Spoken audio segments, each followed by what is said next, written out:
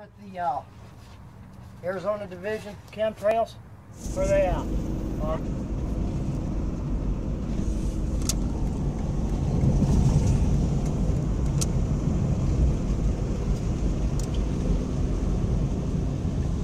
so I'm um, just north of Tucson, Arizona, in Oro Valley.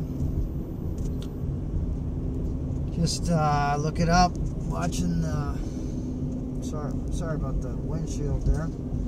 I was just seeing all the beautiful geoengineering program, full full tilt, you know, heading on, doing wonderful.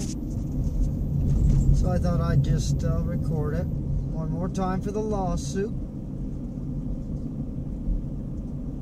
We just can't find who the hell we're going to sue, huh?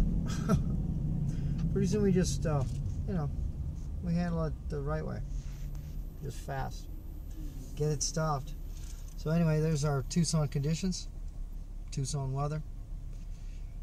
This is Real News Tucson.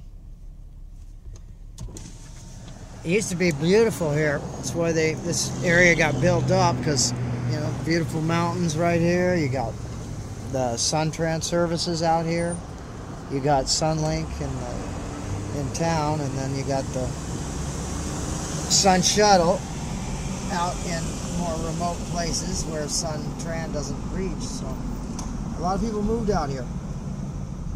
And uh, this is what we get. We get poisoned, toxic air. Isn't that great? Here we are, Real News Tucson. Right over your heads, they're playing God with your air. Howard Meadows.